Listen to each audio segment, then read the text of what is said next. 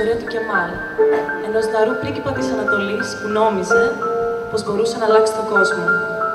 Αλλά πικρές οι βουλές του Αλάχ και σκοτεινές ψυχές των ανθρώπων.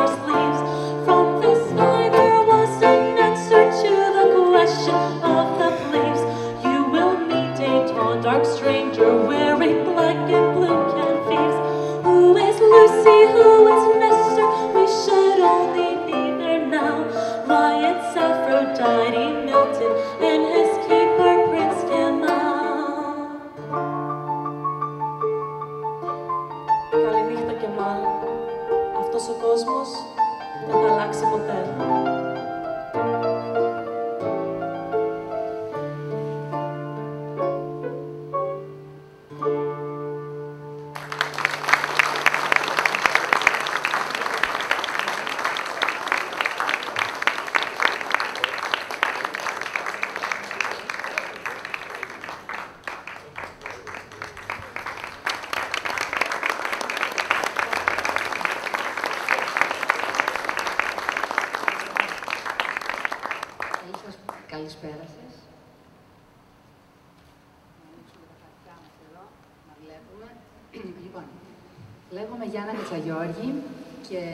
Συνεργάτες μου, Τζούλης Διάβρας,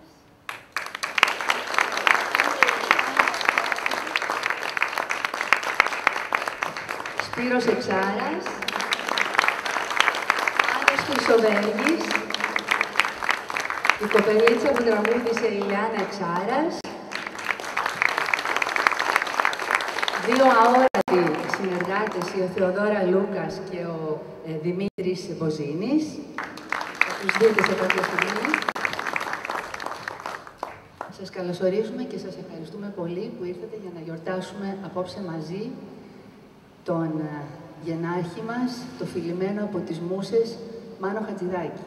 Το τραγούδι που ακούσατε μόλις πριν από λίγο λέγεται «Κεμάλ» και γράφτηκε από το Χατζηδάκη όταν ήταν στη Νέα Υόρκη τη, δεκαετία του 60 ε, παίχτηκε από τους ε, New York Rock and Rock Ensemble και ο Χατζηδάκης το έγραψε για ένα νεαρό παλικάρι 20 χρόνων που το είχε συναντήσει μια βραδιά σε μια παρέα.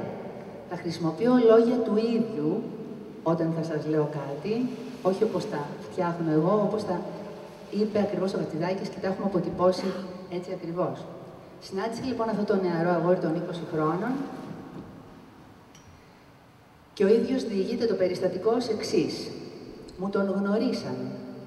Τι μεγάλο και φορτισμένο από μνήμες όνομα για ένα τόσο όμορφο και νεαρό αγόρι. Είχε φύγει από τον τόπο του με πρόσχημα κάποιες πολιτικές αντιθέσεις. Στην πραγματικότητα, φαντάζομαι, ήθελε να χαθεί μέσα στην Αμερική. Του το είπα και χαμογέλασε. Τον ρώτησα αν ήθελε να τον ξεναγήσω. Αρνήθηκε ευγενικά. Γύρισα μόνος μου στο σπίτι, τον έκανα μουσική, τον έκανα τραγούδι. Αυτός ήταν ακριβώς ο Μάνος Χατζηδάκης. Αφού γκραζόταν κάθε κίνηση της ζωής, την έσμιγε με νότες και την έκανε τραγούδια. Όπως γνωρίζετε περισσότεροι, είχε μια έντονη πολιτική και κοινωνική παρουσία ο, ο, ο Μάνος Χατζηδάκης, ε, τόσο πολύ έντονη που ό,τι είπε μέχρι σήμερα είναι προφητικό. Γεννήθηκε το 1925 και ακόμα αυτά που έλεγε από τότε βγήκαν μπροστά στη ζωή μας μέχρι σήμερα το 2014. Είναι ο άνθρωπος που μίλησε για την έκπτωση, την πολιτική και την κοινωνική. Είναι ο άνθρωπος που μίλησε για την ε, διαφθορά, ο άνθρωπος που μίλησε για την ανάπτυξη και την εξέλιξη του φασισμού, μίλησε για τη Χρυσή Αυγή πριν καν εμφανιστεί η Χρυσή Αυγή, μίλησε ε, για την εχθρότητα του ίδιου του πολίτη απέναντι στην ίδια του την πόλη, μίλησε για την οικονομική ανασφάλεια την οποία έχουμε όλοι οι άνθρωποι σήμερα στην Ελλάδα. Ο, ο Μάνος Χατζηδάκης ε, δεν μπορούσε να ζήσει με λίγες δυνάμεις, ούτε με λίγες δραστηριότητες. Δεν ξέρω αν υπήρξε ένας άλλος άνθρωπος ο οποίος να πέταξε το Όσκαρ που του απενεμήθη το 1961 στα σκουπίδια της κουζίνας του. Το πέταξε στα σκουπίδια της κουζίνας. Το πήρε η αδερφή του, το μάζεψε και αυτή μετά από καιρό, γιατί δεν το ήθελε, το έφερε στο σπίτι. Θα ξέρετε όλοι ότι ο Μάνος Χατζηδάκης πήρε το Όσκαρ για τα παιδιά του Πειραιά. Ένα τραγούδι το οποίο ίσως δεν ξέρετε ότι ποτέ του δεν αγάπησε. Ποτέ του δεν ήθελε, δεν το αποδέχτηκε ποτέ. Το θεωρούσε ένα χαζό τραγούδι και όπως το έλεγε ζαχοτράγουδο κιόλας. Ούτε καν χαζοτράγουδο, ζάχοτράγουδο. Θα σας διηγηθώ ένα πολύ μικρό περιστατικό. Ε, ο Χατζηδάκης είχε μια εξαιρετικά ε, ιδιότυπη σχέση με τη Μελίνα Μερκούρη, έρωτα και μίσους.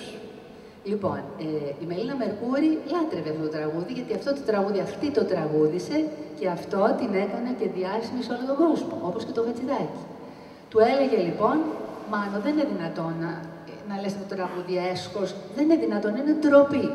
Αλλά κοίταξε να σου πω, αυτό το παιδί, ενώντας το τραγούδι, τα παιδιά του πήρα, αυτό το παιδί μπορεί να είναι ορφανό από πατέρα, αλλά έχει μια μάνα, του είπε, εμένα. Και ο Χατζηδάκης λοιπόν της λέει, χαίρομαι για αυτή την υιοθεσία, συγχαρητήρια, να είσαι καλά της είπε, διότι δεν το ήθελε αυτό το τραγούδι καθόλου. Λοιπόν, είναι ο άνθρωπος που έβαζε έμπνευση και χάρη μέσα στη σοφία του. Έλεγε πολύ σοφά λόγια ο Μάνος Χατζηδάκης. Όπως είχε πει το φοβερό, όταν γεννήθηκα δεν πρόλαβα να ακούσω μουσική, γιατί έπρεπε να γνωρίσω τους γονείς μου. Ή έχει πει το φοβερό ότι αυτός ο άνθρωπος ε, είναι από τους λίγους που αγάπησαν πραγματικά και την Ελλάδα και την ελληνική γλώσσα. Και δεν το είπε μόνο στα λόγια ο Μάνος Χατζηδάκης, γιατί πολλές φορές ήταν πολύ περιφρονητικός και πάρα πολύ σνόπ με πράγματα που, θα, που θα θεωρούσε πολύ λαϊκιστικά. Ε, τι έκανε όμως; Μίλησε για την Ελλάδα και είπε την εξής εξαιρετική φράση που είναι πάρα πολύ συγκινητική. Εμένα τουλάχιστον Ταξιδεύοντας, ανακάλυψε ότι τα πρόσωπα που με ενδιαφέρουν έπρεπε να ομιλούν ελληνικά Γιατί σε ξένη γλώσσα η επικοινωνία ήταν για μένα οδυνηρή και εξαφάνιζε το μισό μου πρόσωπο. Εκτός αυτού, ο Μάνος Χατζηδάκης είχε και μια φοβερά έντονη νεανικότητα. Λάτρευε τη ζωή, λάτρευε τα νιάτα και ενοχλεί το πάρα πολύ όταν πήγαιναν οι δημοσιογράφοι Κύριε Χατζηδάκη, σε αυτό το στυλ, με, με, τα μικρόφωνα μπροστά του, πείτε μας κάτι για την νεανική σας ηλικία.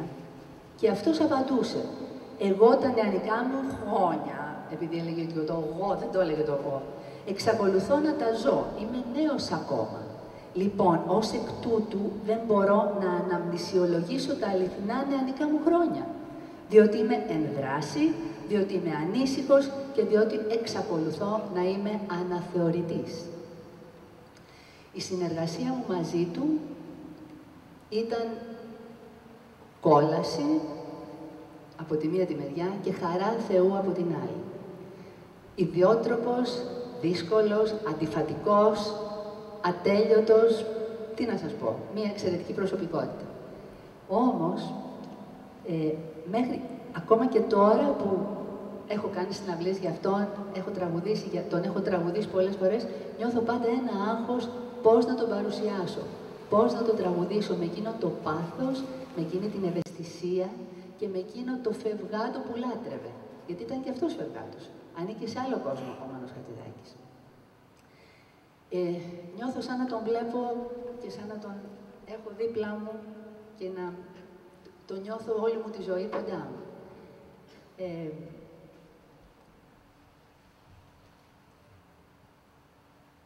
τον θυμάμαι πάντα να με κρίνει με εκείνη την αδυσόπιτη, αδυσόπιτη πραγματικά, αυστηρότητα την οποία είχε, που πολλές φορές ήταν και κομικοτραγική. Δεν θα σας πω γιατί, τι έκανα, τι αταξίες έκανα, γιατί είχα κάνει πολλές αταξίες όταν δούλευα μαζί του. Θα σας πω μόνο τη φοβερή φράση που είχε μείνει εκεί μέσα στους χώρους. Πού είναι αυτή η παγάφωνη Κατσαγιώργη, πείτε της να έρθει τώρα εδώ αμέσως. Εδώ είμαι, Μάνο Χατζηδάκη. Εδώ είμαι, ανάμεσα σε όλους τους θνητούς και εγώ. Ήρθαμε εδώ όλοι μαζί, σήμερα για να σε τραγουδήσουμε, να τραγουδήσουμε τα όνειρά σου. Ένα φιλί από όλους μας, εδώ μέσα, στα χέρια σου, που χαϊδεύουν τώρα τα αυτιά του Θεού.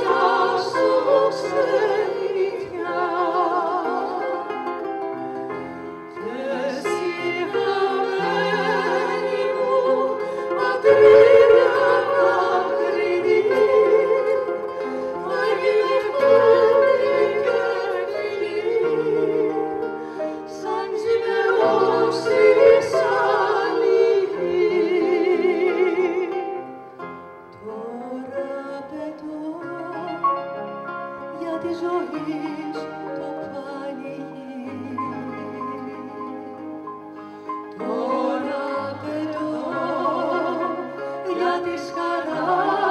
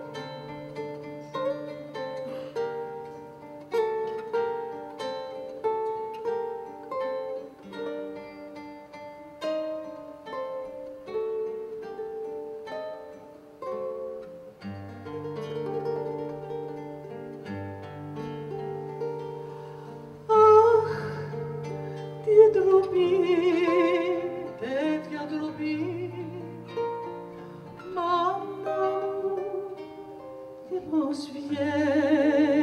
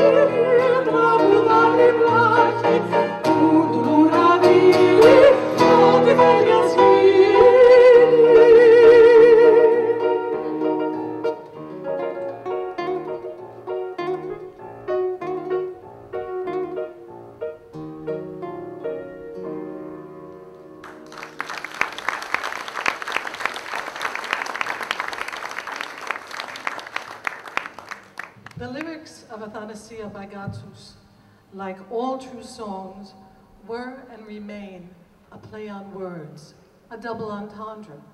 The concept of death leads the truly enlightened person to realize deep down inside that his existence has an expiration date. Man must come to terms with this idea and not be hooked on life to the point that he does not want to leave it. This is something which all religions exploit by promising eternity, never-ending future, and everlasting happiness.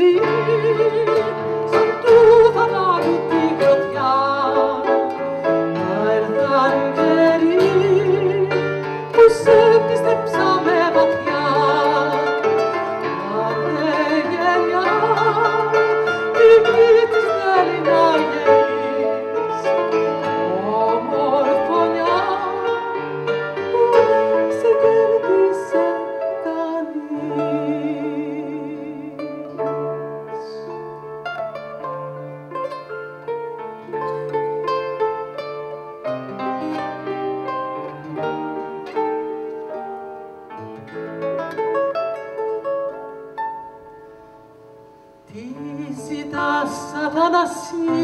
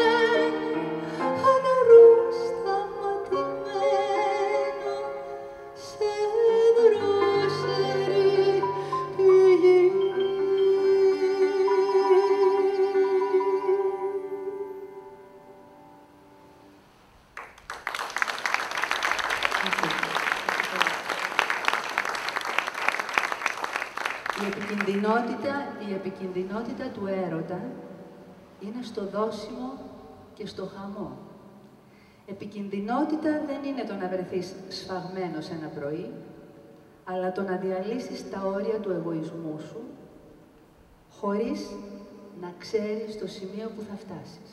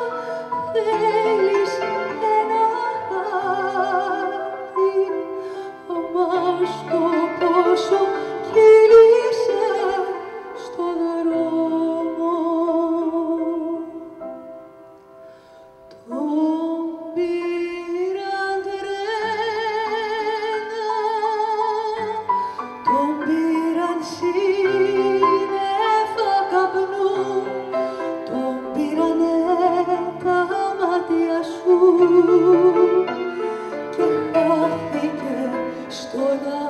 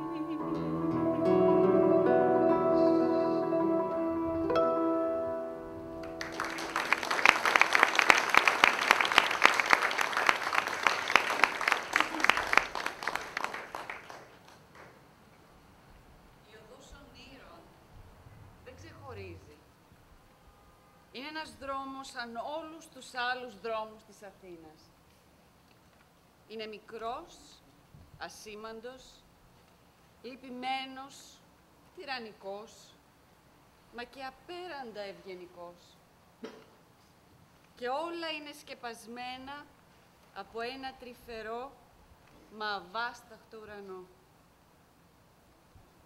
Αυτός ο δρόμος είναι για όλους μας ένα κλουβί. Κανείς δεν ζει αληθινά αυτό που θα ήθελε να ζει. Γιατί το όνειρο είναι μία στιγμή. Και όλες οι άλλες στιγμές απελπισία. Μέσα σε αυτό το δρόμο γεννιόμαστε, ζούμε, πεθαίνουμε. Μαζί με μας τα όνειρά μας. Μαζί με μας και τα παιδιά μας. Γι' αυτό ένα πάρτι στο δρόμο των ονείρων είναι μια στιγμή πιο θλιβερή και από τη στιγμή του ονείρου. Είναι ένα ξεφτύλισμα ζωής, ένα παιχνίδι χαρταετού στα χέρια των αγγέλων.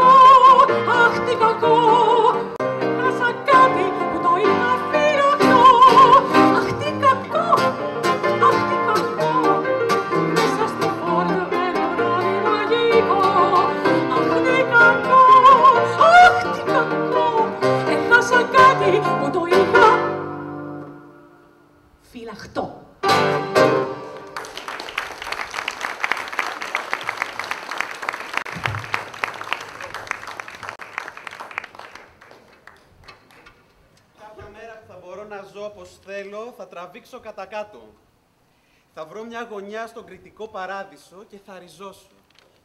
Άλλος τόπος στον κόσμο δεν υπάρχει. Ζωντανή είναι η Κρήτη. Έχει ψυχή, φωνή, φλέβες που τρέχει αίμα ζεστό μέσα τους. Μου το είπε μια φορά ένας γέρος, χωρικός, πάνω στην ώρα δυνατού σεισμού, μα το κατάλαβα αργότερα. Μη φοβάσαι Μανώλη, ζωντανή είναι η Κρήτη μας, κουνιέται. Και δεν είναι μόνο ζωντανή, παρά και μάγισσα. Ήπιες νερό από τα, σπλάχα, από τα, από τα σπλάχνα της. Πάει τέλειωσε, έγινε σκλάβος της.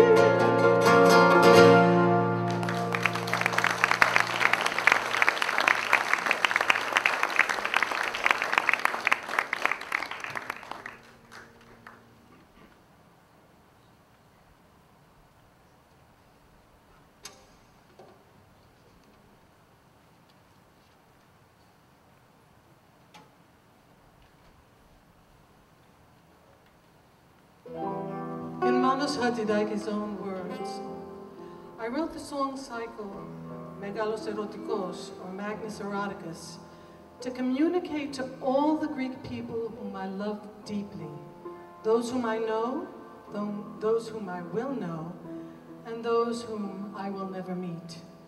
And through them, I can connect with my immortal Greek soul as it interacts with this world.